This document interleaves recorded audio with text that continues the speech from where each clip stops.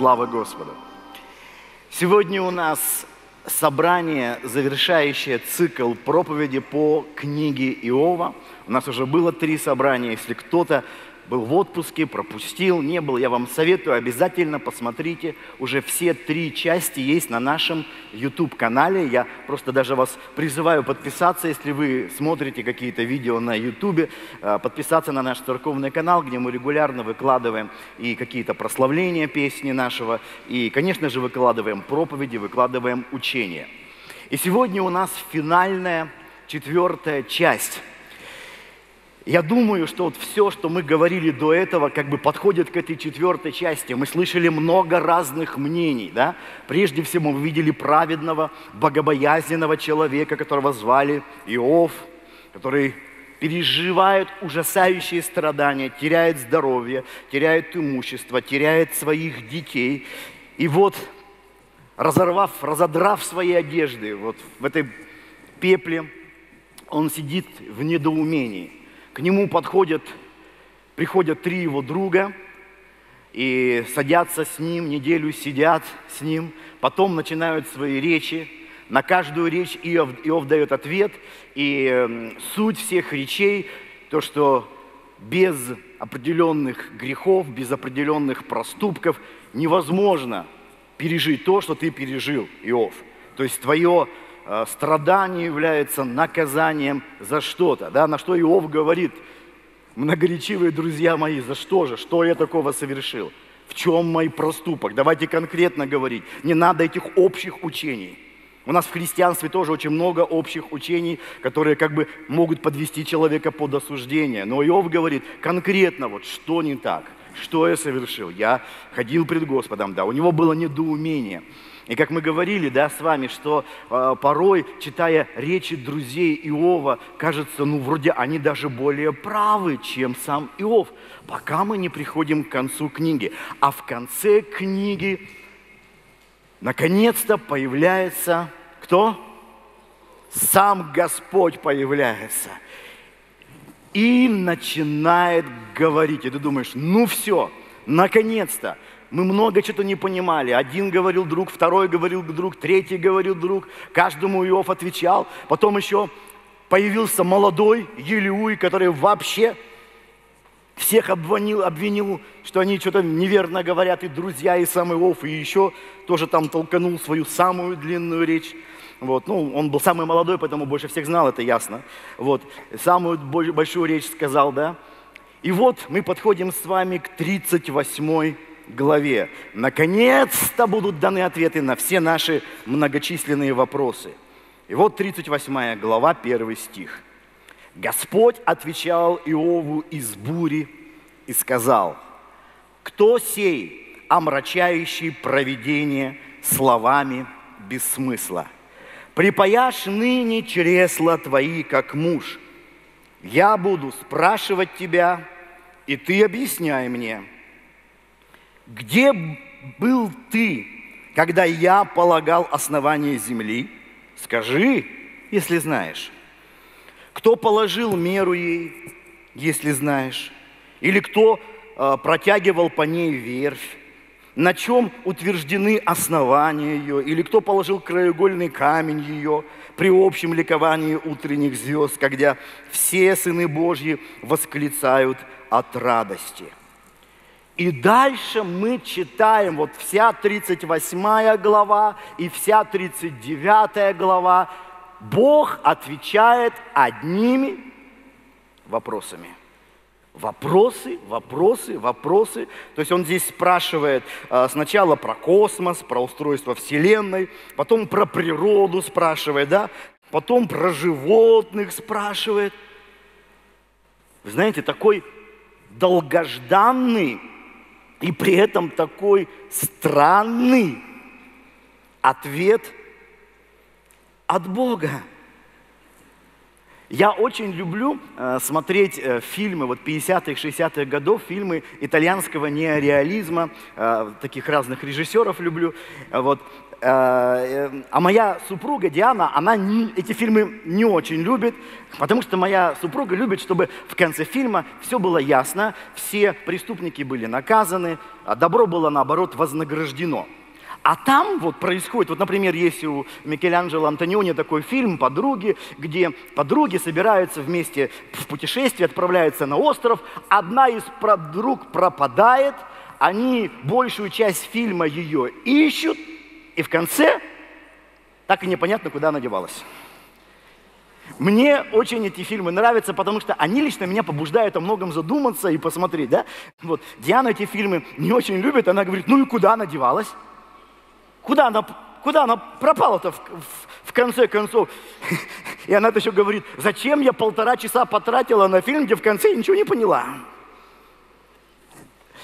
Вот книга Иова чем-то похожа, да? Мы читаем, там книга сколько, 42 главы, мы читаем, читаем, читаем, читаем, и в конце мы ждем как бы развязку, у нас много вопросов, появляется Бог, который подбрасывает нам еще дополнительные вопросы. Он говорит, а, вам это непонятно, а вот это вам понятно, а вот это вам понятно, а вот это вам понятно. И в принципе на этом книга заканчивается. Я думаю, Богу тоже нравятся фильмы итальянского нереализма. На этом книга заканчивается. Знаете, книга Иова показывает, что есть вопросы, на которые наш разум никогда не получит удовлетворительного ответа на этой земле. И вопрос о причине наших страданий как раз вот именно из этой категории. Помните, как у Исаи написано, да? Бог говорит, не ваши мысли, мои мысли, и не ваши пути, пути мои, но как небо выше земли, так мои мысли выше ваших, и мои пути выше ваших мы читаем и мы понимаем, ну, конечно, все, что у Бога выше. Однако в нашей жизни мы все равно с этим не соглашаемся. Нам нужно, чтобы наш разум – объяснил нам все божественное проведение. Нам нужно, чтобы нам было все понятно. И многие верующие в действительности думают, что они верят в Бога, а на самом деле они уповают на свой разум. Есть вещи, которые мы не понимаем, есть вещи мы не знаем. Как мы можем верить в Бога? Но драгоценные – если мы с вами задумаемся, как раз вера в Бога и нужна, когда нет знания. Потому что если есть знание, зачем нужна тогда вера?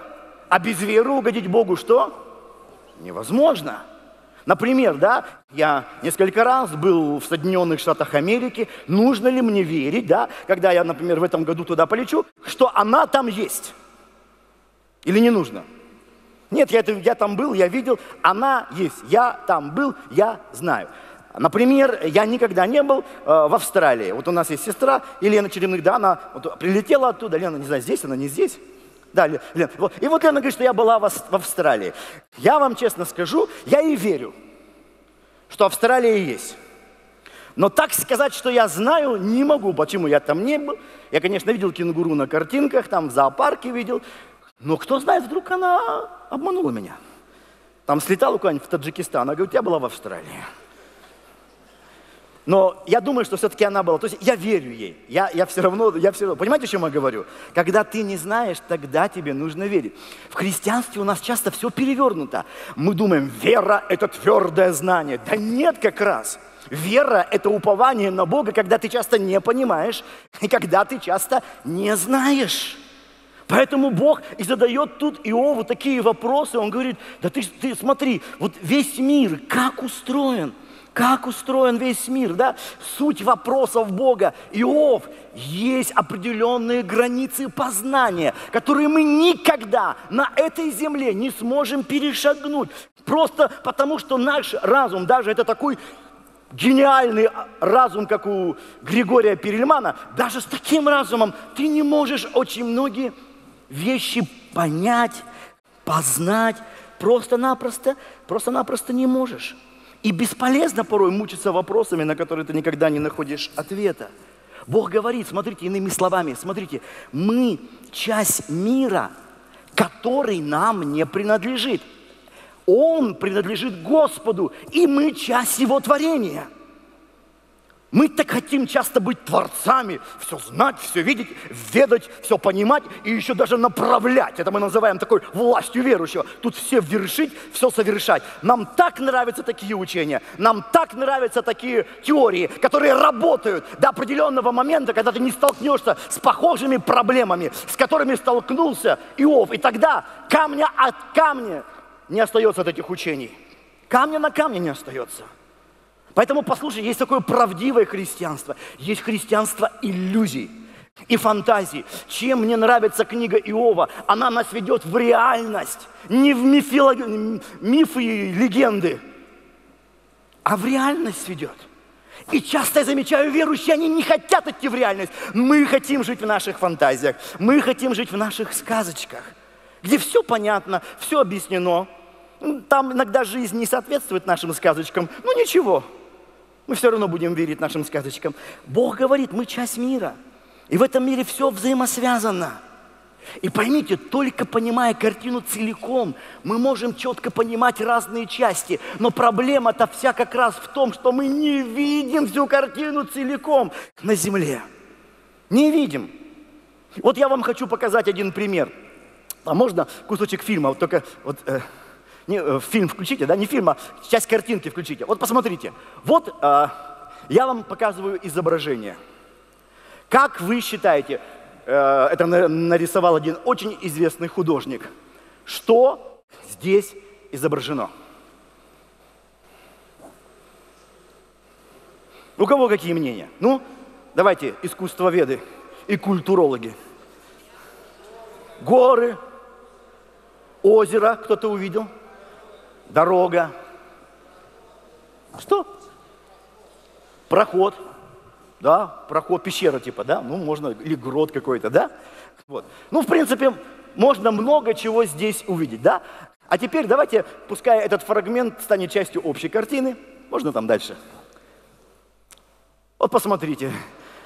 Это известная картина Марка Шагала, называется «Над городом». И то, что мы видели как горы, как проход, как туннель, как облака, это оказалось часть одежды человека, да? Видите часть там, где колени? Но могли, какой шанс догадаться, что здесь изображена пара, летящая над городом, пара влюбленных, летящих над городом? Какая, какой шанс догадаться, зная и видя только один фрагмент, а? Никакого. Точно так же драгоценные мы. Мы видим часть фрагмент. И мы судим о нашей жизни только по этому фрагменту. Но Бог показывает, что все в этом мире взаимосвязано – все перетекает одно в другое. И чтобы часто понимать, что это, для чего это изображено, почему это происходит, нужно просто увидеть всю картину, всю картину целиком. А у нас нет такой возможности на этой земле. У меня этот пример родился, когда я был а, на одной выставке известных картин. Я помню, там было одно такое полотно огромное. Я вот зашел, в зал, посмотрел какие-то черты, какие-то там треугольники, и вообще ничего не понял. И только когда я отошел к другому концу зала и смог увидеть всю картину, я увидел, как из этих треугольников и черт возникли разные фигуры. Но вот так вот не видно. Как у нас говорится, да, лицом к лицу лица не увидать. Часто при близком рассмотрении мы не можем это понять. Но наша жизнь связана, связана друг с другом, связана со всей Вселенной, со всей землей, связана с духовным миром, связана с Господом. И что-то там изображено, но понять это можно только видя всю картину. Но мы не творцы этой Вселенной. Мы не художники этой Вселенной. Мы не можем видеть эту картину. Мы видим только часть. Можно, э, Паша, в нач... самое начало покажи фрагмент – И вот у нас возникает вот часто, что такое наши догадки, да, вот мы видим эту маленькую часть и начинаем. Братья, сестры, что вы думаете, почему Господь такое изображает? Что сие означает? И тут на что у каждого хватило, хватило фантазии. На что хватает фантазии? И Бог ему задает вопросы, говорит, ты не можешь это понять, а это можешь понять, а это можешь понять, а это можешь понять. И он начинает рисовать Вселенную, все мироздание с природными процессами, с животным миром, с растениями там разными. Это все связано, Иов. Все связано, чтобы понять часто, нужно увидеть целиком, но ты не видишь. Мы с вами, драгоценные, не видим. И я вам скажу, это приводит нас к смирению. Вот суть смирения. Учиться занимать свое место, быть довольным и доверять Богу, несмотря на то, что многие вещи, они выходят за границы вот того, что мы видим и того, что мы можем понимать с вами. Они выходят за границы из этого всего. И вот, смотрите, вот 30, э,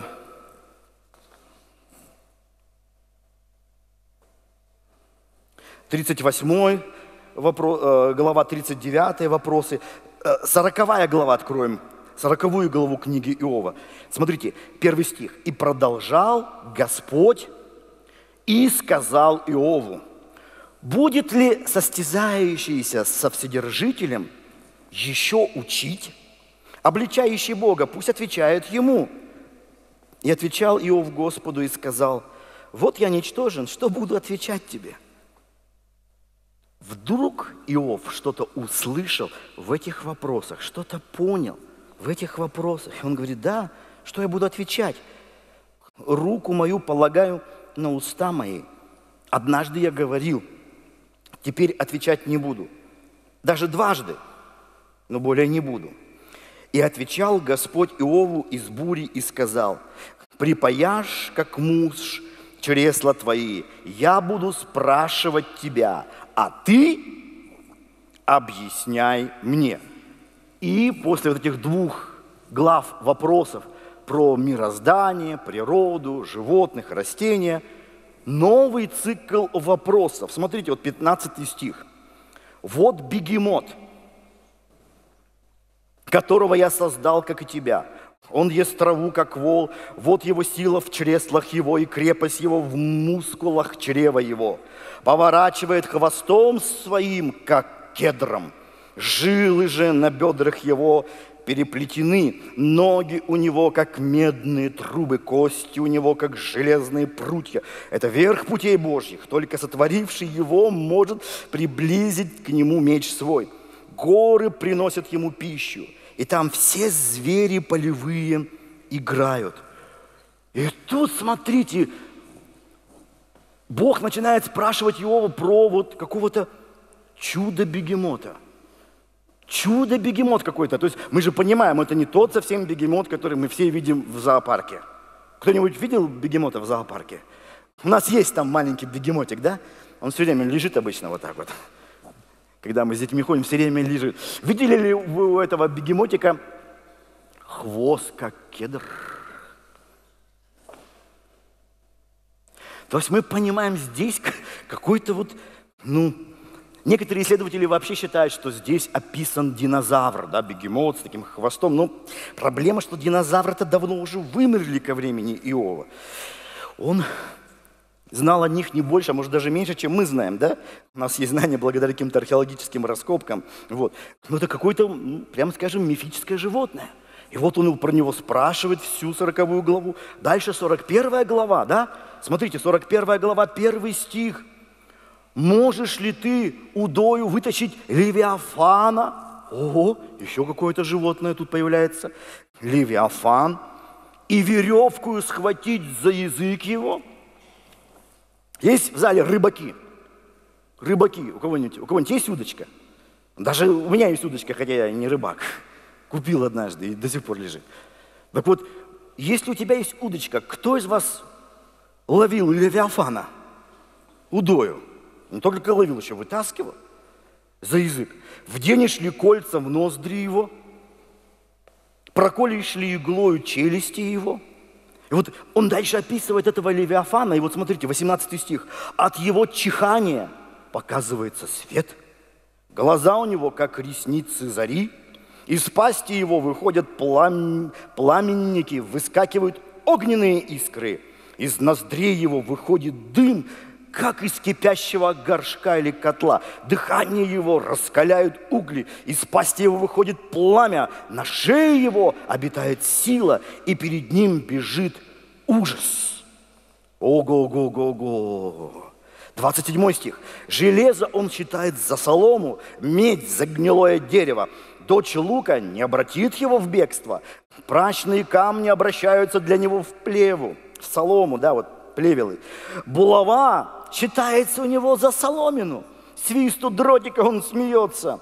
Под ним острые камни, а он на острых камнях лежит в грязи. Он кипятит пучину, как котел, и море притворяет в кипящую мазь оставляет за собой светящуюся стезю. Бездна кажется сединою. Вот смотрите, от вопросов о мироздании – Бог перепро, переходит к вопросам магическим. Он описывает такие какие-то диковинные, страшные существа. Чудо-бегемот, дракон Левиафан. Ну это же типичное описание дракона. Из там ноздри там, или чихает свет идет, там пламень у него в устах. Да. Что такое? Сразу вспоминаются всякие фильмы фэнтези, где всякие драконы летают. Да? Это же описание. Каких-то мифические, мифические существа мы порой часто приписываем, да не то, что даже мы, в, в то время это было, конечно, чаще, но и в наше время до сих пор происходит. Вера, всякие колдовские силы, драконов, там магические проклятия, заклятия, вот такой мир какой-то мифическо-сказочный мир. И тоже немало людей приписывают вот этим э, существам влияние негативное на нашу жизнь. Есть христианские авторы, они исследуют этот, этот, вау, наверное, это влияет на нас, темные силы, да? Апостол Павел много позже напишет важнейшие слова, которые, к сожалению, до многих христиан не доходят, потому что нам хочется верить в свои сказки. Апостол Павел написал, идол в мире – ничто. Если даже ем это идоложертвенное, ну, пища нас к Богу не приближает и не удаляет нас от Господа. Пища – это пища. Он говорит, проходит через чрево, да, он все описывает. Но а, нам кажется, нет, нет, Павел, как это ничто? Нет, это все влияет, эти идолы, эти, эти идоложертвенные явства, они очень сильно влияют. Ну, если ты веришь, конечно, влияют. До сих пор многие верующие христиане, они считают, да, он уже уверовал в Господа много-много лет. Все от проклятия не может избавиться. Тебе надо от глупости просто избавиться, и все. Потому что Писание четко говорит, что Иисус взял на себя все проклятие мира. Он взял на себя, он был распят. Веруй в Него. Но нам так скучно веровать в Него. Нам хочется верить во все вот эти вещи. А, наверное, вот так вот все, да? Идол в мире ничто, пишет апостол Павел. А здесь просто Бог отвечает, да послушай, все в моих руках, Он показывает. Все в Его руках. Нам-то все время кажется, что Бог, Он всемогущий, но нет-нет, да и пропустит что-то.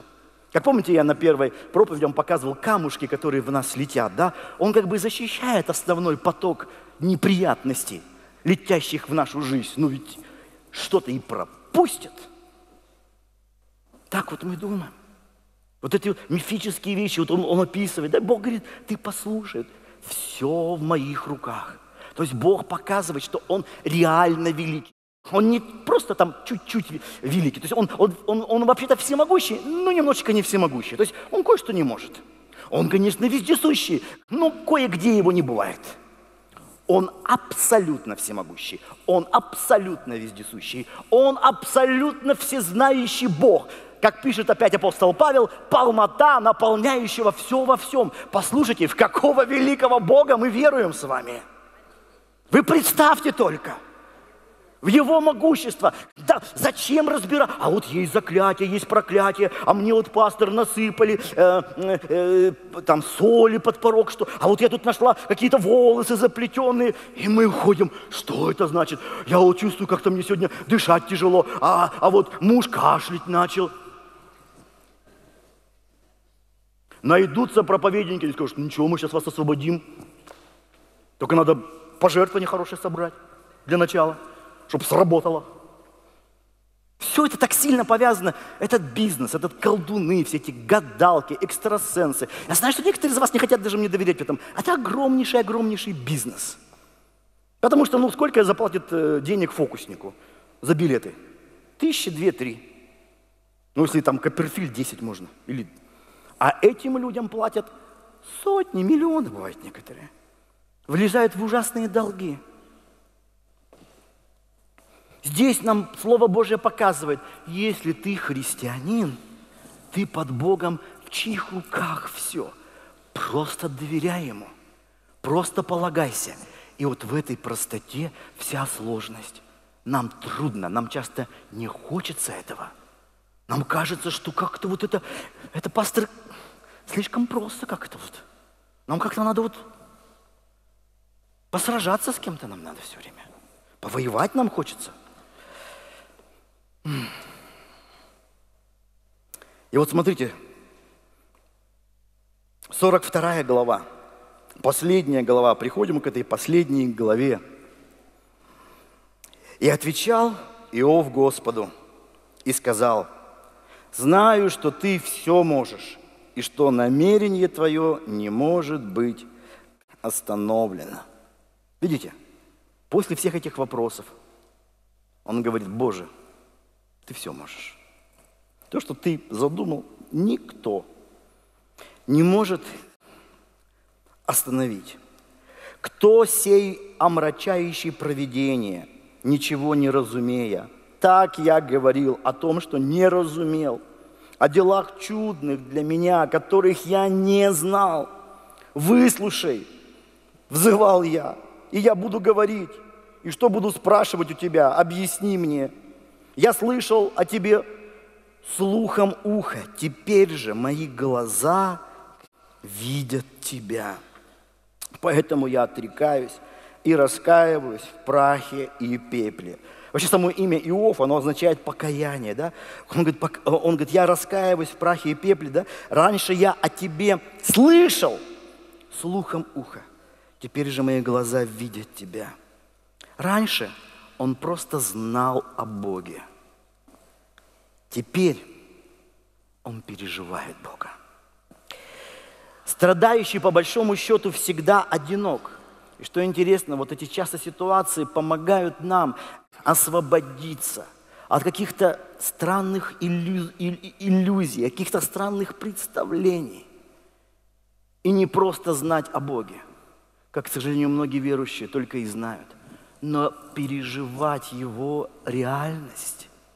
Поэтому Слово Божье нас учит за все благодарите. Во всем любящие Бога, во всем, в любых ситуациях. Не только в плохих, во всех. Не только в хороших, во всех. В разных ситуациях. Бог может обернуть это ко благу любящим Бога. Понимаете? То есть мы приходим к Его абсолютной власти, абсолютному, абсолютному величию. И Иов. Иов замолкает. Поэтому я и говорю, что вот когда я впервые читал эту книгу, мне казались логичными речи друзей, логичными. И я был согласен со многим, что они говорили, а Иов казался мне каким-то самоправедным, надменным. И когда я вот в конце, в 42 главе прочитал, вот 42 глава, 7 стих, «И было после того, как Господь сказал слова те Иову, сказал Господь Елифазу, фемонитянину, горит гнев мой на тебя и на двух друзей твоих за то, что вы говорили о мне не так верно, как раб мой Иов. И вот тут часто верующих смущают такие слова «не так верно». Так вот там нету «не так». Там написано, что вы говорили неверно. Неверно вы говорили, как в отличие от моего раба Иова. Я думаю, что переводчики добавили не так верно, потому что им тоже казалось, что ну, немало правды в словах-то, немало правды, немало хороших вещей говорят. Итак, возьмите себе семь тельцов и семь овнов и пойдите к рабу моему Иову и принесите за себя жертву. И раб мой Иов помолится за вас. Вот смотрите, Иов становится для друзей своих кем? Священником. Тот, кто за них молится, за них заступается перед Богом. А они кем его считали? Самым грешным из них. То есть вы понимаете, как меняется вся картина-то. Люди порой думают так, приходит Бог, все наоборот. Первые последними становятся, а последние первыми. Не так.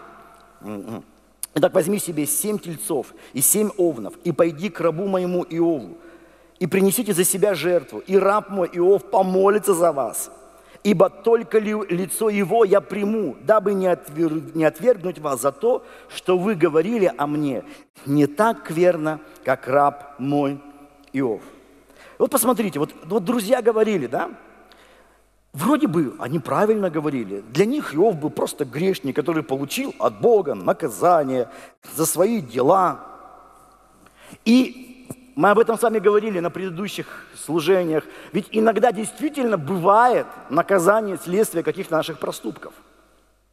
Но можно ли это абсолютизировать и из этого сделать такую модель для жизни каждого человека? Нет. Нельзя это абсолютизировать, да?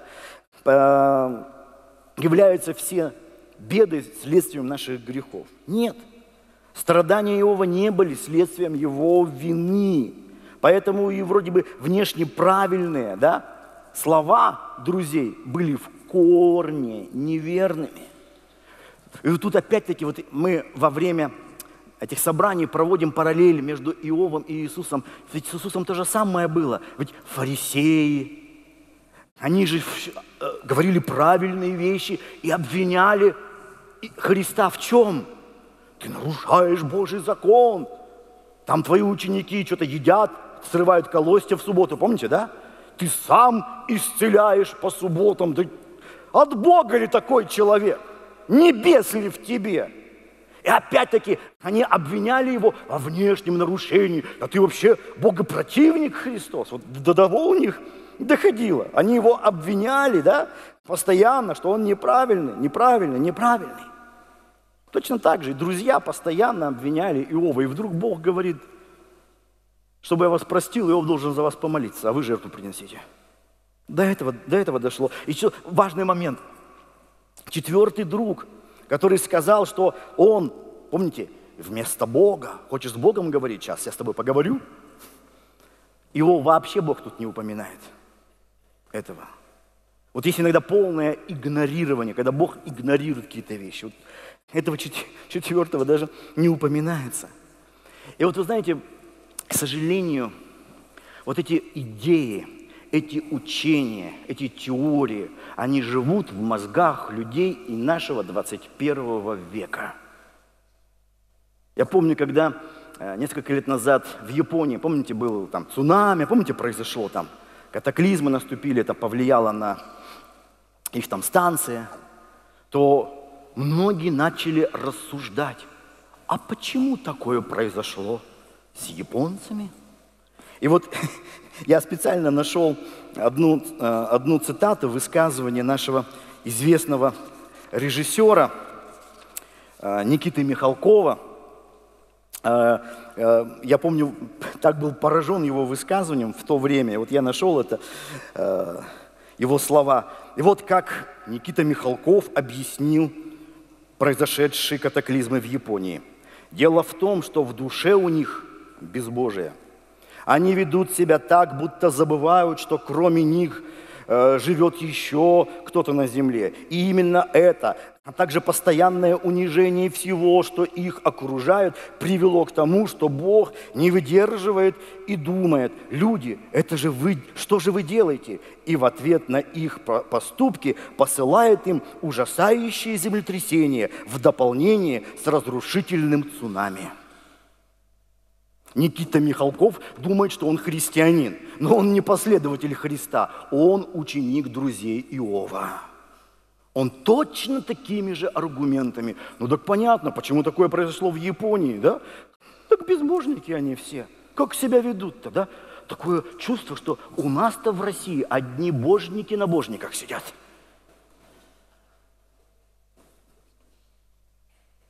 И мы так вот любим все объяснять. И это же говорит вот не какой-то там, знаете, малограмотный человек, известный режиссер, интеллигентный человек, да, специалист по культуре. Что несет этот человек? О чем, о чем он говорит? И вот эти вот три теории, а почему страдал Иов, которые вот люди выдвигают, да, это прежде всего причинно-следственные связи, да, есть грех ужасный, вот приходит наказание, или человек правильно себя ведет, и Бог его благословляет. Так вот мы видим на основании книги Иова, да, это нередко работает, но нельзя этот закон причинно-следственных связей применять без разбора ко всему. А если тебе уж так сильно хочется этот закон применить, то примени его прежде всего к себе самому. Вот вы знаете, в чем разница между Иовом и его друзьями?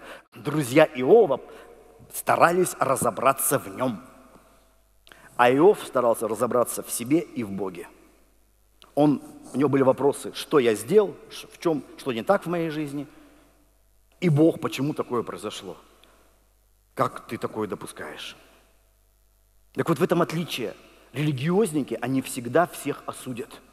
Они во всем найдут грехи и обличат. Люди Божьи, они не лезут со своими какими-то моделями, схемами, пытаясь весь мир, там Японию, Таиланд, Америку, Россию, Украину, все вот под свой какой-то модель, под свое понимание привести. Это вот первое да, объяснение. Второе объяснение, которое прежде всего дал самый молодой дружок Елеуй, это для воспитания твоего характера. Да. И тут тоже иногда такое бывает. Но можем ли мы и эту модель абсолютно ко всему отнести? Ты болеешь, значит, Бог тебе что-то сказать хочет. Ты, наверное, вот что-то не слышишь от Него. Наверное, Он хочет улучшить тебя, какие-то вещи выработать, терпению научить тебя. Говорят об этом верующие? Да, говорят. Бог это вообще даже не упоминает этого Елеуя с его теориями, да? Вот. Ну, э, в некоторых церквах самое популярное объяснение – страх – причина несчастья. Ты бы забоялся, двери несчастья открылись. Такое чувство, что Иов такой был пугака, а трое друзей прямо хр... три храбрых смельчака. Ничего не боятся. Да это всем присуще. Но всех ли постигают такие беды, а? Да не всех, конечно. Поэтому это ну, хорошо вот в это верить. Ну, конечно, вот это вот так-то, вот это вот так-то. Вот. Это вот теории, которые мы видим в книге Иова.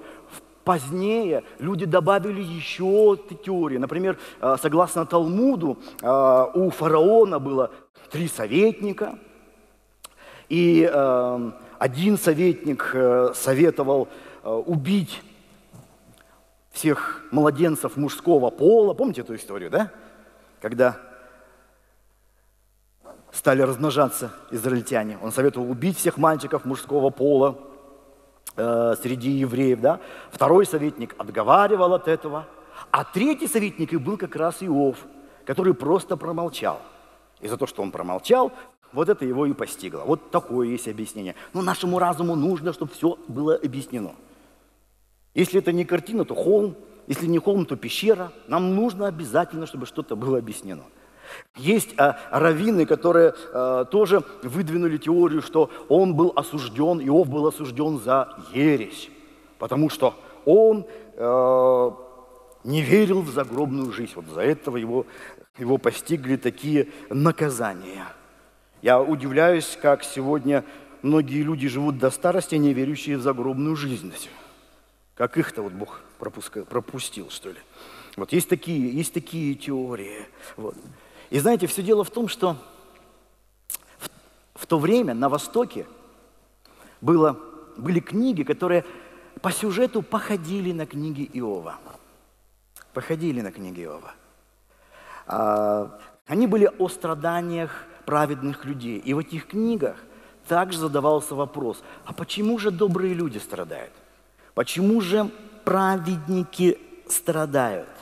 Э, в Месопотамии даже э, была, была книга, которая называлась «Поэма о невинном страдальце». И вы знаете, чем книга Иова отличается от похожих книг Древнего Востока? В книге Иова в самом начале, первые две главы, когда мы, которые мы разбирали на первом собрании, там во вступлении, да, в этом предисловии, нам показано, что происходило в духовном мире. Помните, когда сыны Божьи пришли к Господу? В других книгах этого не было.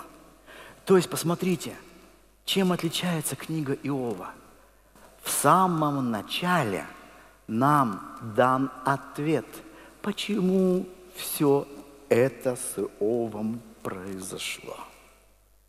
Но люди на земле, Иов и друзья – они же этого не знали. Это знаем мы, читающие книгу Иова. То есть, грубо говоря, нам показана задачка, ответ на которую мы знаем в самом начале. Но у тех людей не было этого ответа, и они начали придумывать себе вот эти ответы, начали придумывать себе эти объяснения. А мы видим, да, наша Земля – часть божественной Вселенной, где все взаимосвязано. И мы часто не видим эти взаимосвязи. Мы не понимаем, а что там происходит в духовном мире. Что там произошло, почему все это случилось. Мы же не знаем этого. Но мы должны, тем не менее, доверять Господу – что и сделал Иов. Он не понимал. Его порой слова были риски, в отличие от благочестивых высказываний друзей. Да, он резко говорил, но он говорил честно, и он говорил искренне. В этом и было вот это главное отличие.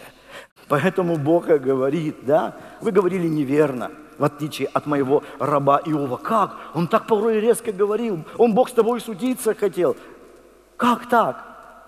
Да потому что он говорил резко, но честно. Он не пытался там что-то придумать или додумать, как, как прочие-прочие друзья. И поэтому вот смотрите, 10 стих 42 главы говорит, «И возвратил Господь потерю Иова, когда он помолился за друзей своих и дал Господь Иову вдвое больше того, что он имел прежде. Тогда пришли к нему все братья его, и все сестры его, и все прежние знакомые его, и ели с ним хлеб в доме его, и тужили с ним, и утешали его за все зло, которое Господь навел на него. И дали ему каждый по кисите и по золотому кольцу – и благословил Бог последние дни Иова более, нежели прежние.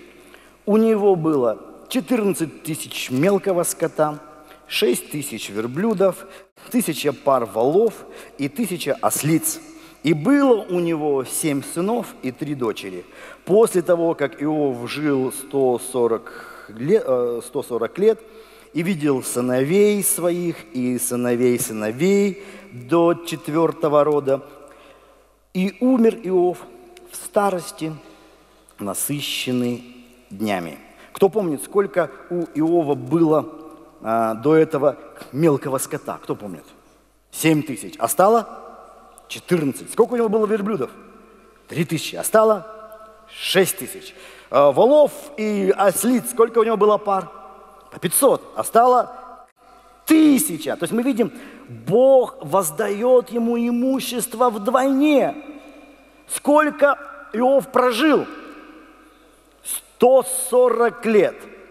В псалмах, 90-й псалом, сказано, дней лет наших 70, а при большей крепости 80 лет, ибо проходит быстро, и мы летим. Сколько Бог дал жизни Иову? В два раза больше обычного срока – 140 лет. Вот только вот детей у него осталось столько же. То есть в два раза детей э, больше, это не всегда благословение, правда же? Было семь, а стало 14 сыновей. И так было тяжело, а тут вообще жить невозможно, да? Нет, Бог мудро все делает. Знает, что удваивать и что оставлять в прежнем количестве, да? Но на самом деле, драгоценные, послушайте, ну, жизнь человека, конечно, что-то особенное. Вот. И э, по закону Моисееву, если кто-то что-то забрал незаконно, то он был обязан вернуть вдвойне. Что интересно, Бог возвращает вдвойне. Еще раз показывается, что это не было наказание за его грехи, что Иов страдал без, без причины, которая была в его жизни, в его, в его э, поведении. Я еще раз вам хочу показать, эта книга учит нас смирению. Есть верующие – есть пасторы, есть проповедники, которые буквально знают все и все готовы объяснить. Что они делают? Они просто свои догадки выдают за истину. И более того, они свои предположения выдают за откровение от Господа, слово от Господа. Мы опять это видели в книге Иова, да?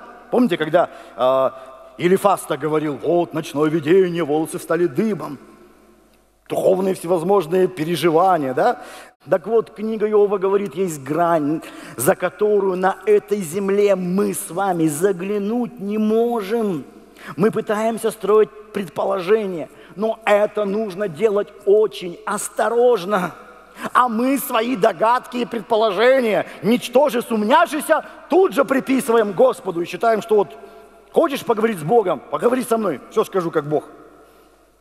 Как Елеуй, да, говорил Иову. Религио, религия делает людей э, самодовольными, знающими ответ на все вопросы. Познание же Бога, настоящая вера делает человека смиренным и уповающим на Бога. Мы понимаем, есть границы. Поэтому часто к Божьим людям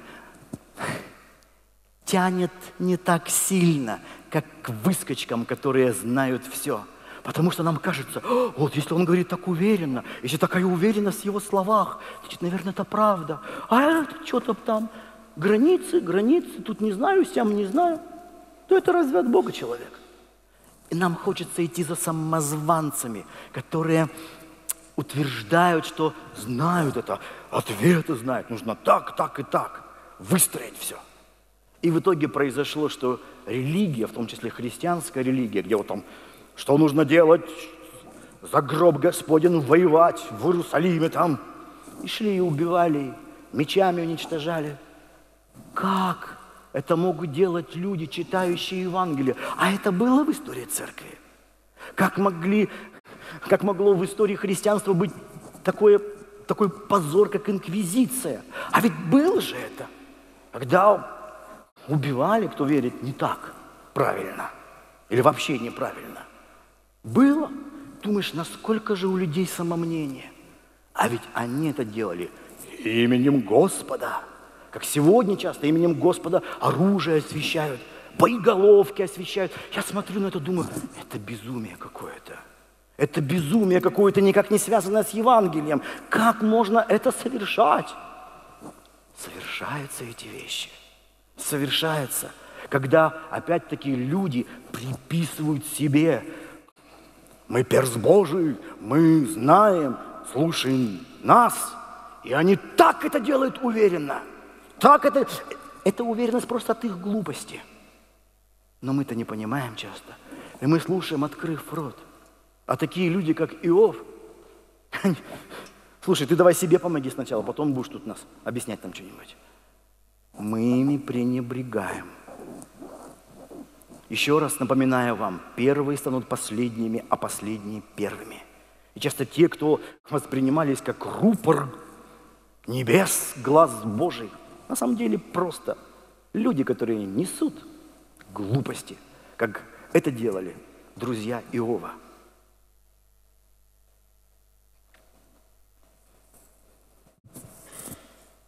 Нельзя применять одну модель для всех ситуаций. Нам так проще – не в Бога верить, а в модели. Но вера в Бога – это взаимоотношения с личностью, а не со схемами какими-то всевозможными. Верующие любят друг друга получать схемами. И вот в итоге мы видим, книга Иова, она показывает нам, что есть вещи, которые мы никогда не узнаем. Но ввергает ли нас в конце книга Иова в депрессию, а? Нет. Она заканчивается радостным. Она заканчивается позитивом. Да, есть вещи мы не знаем здесь на земле и никогда можем до конца и не понять, не узнать, но книга Иова заканчивается радостью. Бог, тем не менее, все приведет как благу.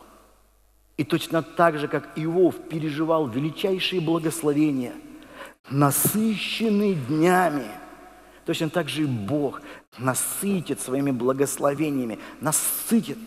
Да, мы не все понимаем, мы не все можем объяснить. Да, да, так и есть. Это отличает вот уповающих на Бога людей от религиозников, у которых, я еще раз повторю, есть ответы на все вопросы – есть там они все тебе объяснят и книжек понапишут тебе. Все у них, все известно, и все, и все понятно, и всем они все растолкуют, и, и, и, и все. Все знаю. Я не, не так давно с одним человеком столкнулся. Видел, просто человек продает книжки. И там, и там такой, э, меня, меня что удивило, там целый такой столик был, и там много-много книжек, много-много книжек было. И, и там было написано, книги, э, рас, э, книги э, рассказывают, как там было написано что-то, э, Божьи тайны или Божьи загадки, книги, да. Я такой, ну, видел, что Божьи тайны, поэтому подошел, да, стоит человек, продает, и там книги, там, там, например, 150, там, название одно запомнил, 153, цифра секрета Бога, и там куча-куча таких книг. Я говорю, а о чем эти книги? Он говорит, как о чем? О Боге. Я говорю, а кто их написал? Он говорит, Бог. Я говорю, в смысле? Он говорит, это я написал. Я говорю, а кто вы? Он говорит, смотри. Я показал на бейджик, у него бейджик, а на бейджике было написано Бог. Ну, чтобы никто не усомнился. Это прав, правдивая, правдивая история. Бейджик Бог продает книги, Бог написал, это он продает. Думаю, какой Бог смиренный, и книги пишет, и продает их сам. Все, все, все, все делает. Я посмотрел, эти, эти, там, ну не знаю, книжек 50, наверное, разных лежало там напис, написанных, да.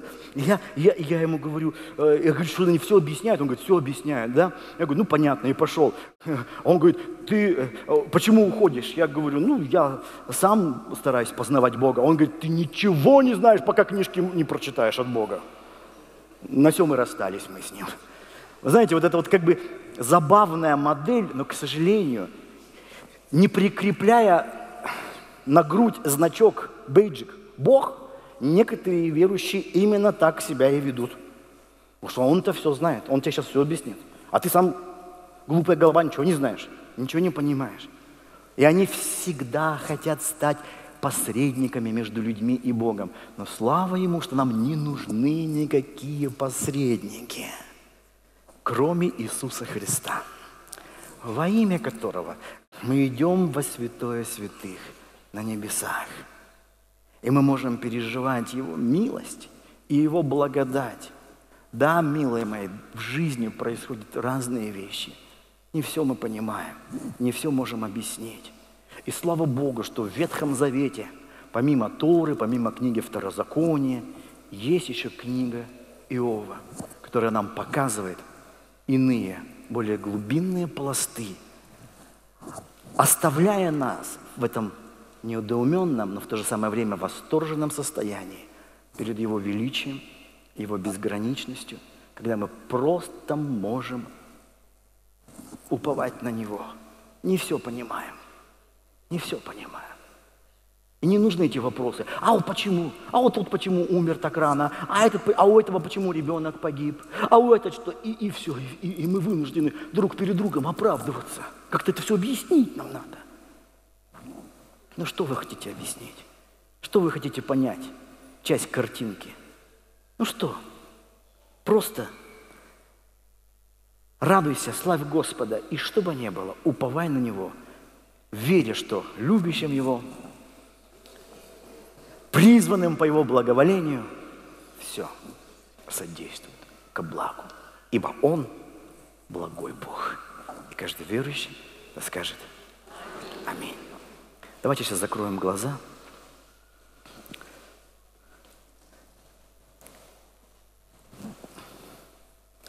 Склоним наши головы. Всемогущий Господь, я благодарю Тебя за этот воскресный день, когда мы честно читаем Твое Слово, честно, Господь, углубляемся в Священное Писание, которое раскрывает нам Твою многогранность, безграничность, Твою великую тайну, Господь, ибо все в Твоей руке. На своих ладонях Ты держишь весь мир. Ты автор и Ты художник этой великой картины Вселенной, охватить которую не способен ни один самый гениальный ум. Но познать Тебя – автора и художника может смиренное сердце, которое просто склоняется перед тобой, перед твоим величием, перед, твоей, перед твоим могуществом, перед твоей тайной, Господи. Спасибо Тебе за то, что Ты благой, Ты любящий.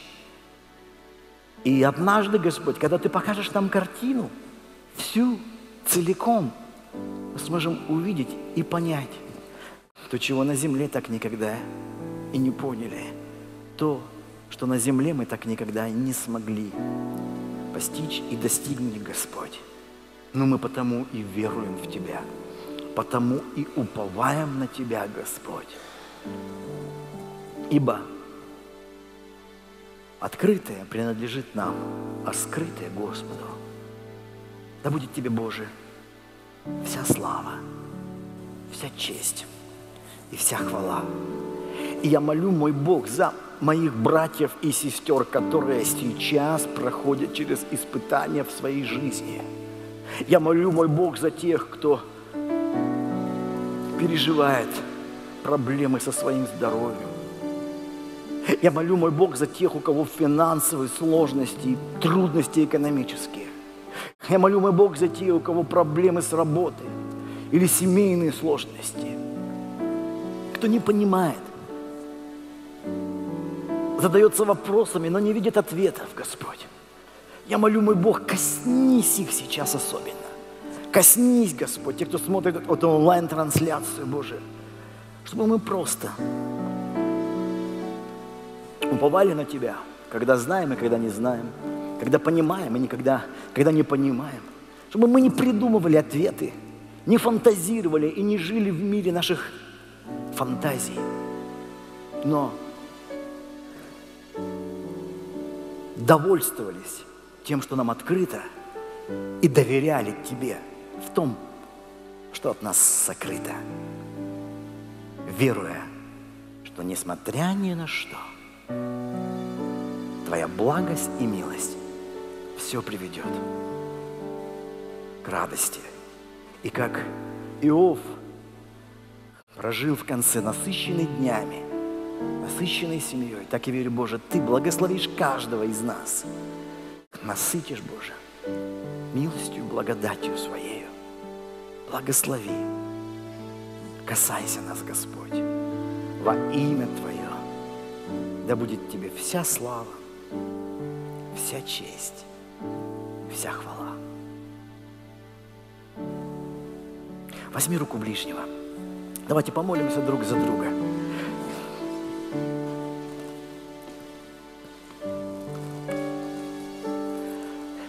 Это единственный ответ, который дает нам книга Иова о причине страданий праведников. И ответ такой. Доверяй Богу. Все. Нет больше ничего. Доверяй Богу. И пускай в сердце у тебя будут эти слова, которые Иов кричал к Богу из глубины своих страданий и бед. а я знаю, что Искупитель мой жив. Вот это что. Внутри будут эти слова. Он Искупитель, Он живой, Он благой, Он любящий. Да, нам порой кажется, что идет какое-то зло, потому что мы не видим всей картины. Но однажды увидим. А пока мы живем верою, ибо праведный верою жив будет. Доверяя Богу, уповая на Него, что бы ни было, Господь, не осуждая ближних, не осуждая во имя Иисуса Христа. Благослови Господь, что, чтобы мы были, каждый из нас был благословением для нашего ближнего, когда мы видим наших ближних в беде, в несчастье, чтобы, проходя долиной смертной тени, проходя через плач, через боль, наше знание о Боге переходило переживание Божьего присутствия.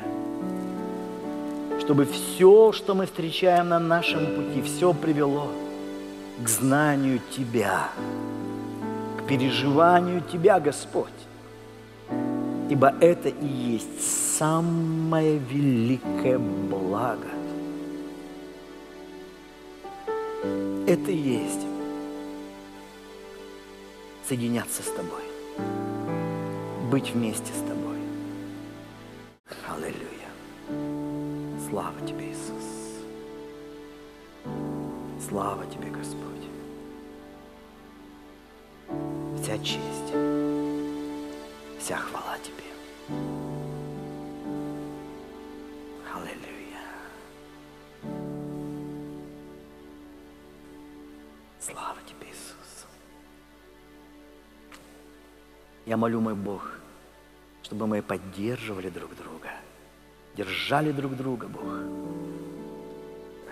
Были поддержкой, подкреплением друг для друга. Я молю, Бог мой, делай нашу церковь как семью, семью любящих сердец, где мы не как друзья Иова, которые приносят друг другу только дополнительную боль. Но мы были, Господь, наполнены Твоей любовью, чувствовали Твое сердце, а Твое сердце к сострадающим, а Твое сердце к страждущим, Твое сердце к тем, кто в несчастье, Господь. Я молю, Боже, сделай нас людьми милостивыми, любящими, верными, теми, кто идет до конца вместе с Тобой. Да будет Тебе, Боже, вся слава, вся честь и вся хвала. Отец, Сын и Святой Дух во веки веков. Каждый да скажет Аминь.